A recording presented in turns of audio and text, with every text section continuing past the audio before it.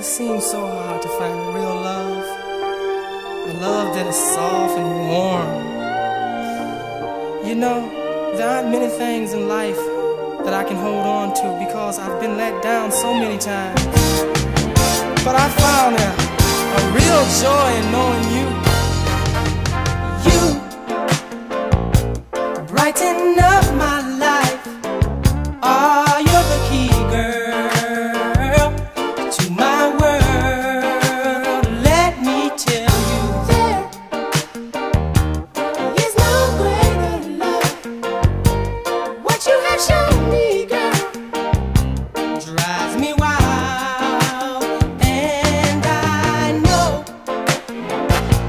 I'll give you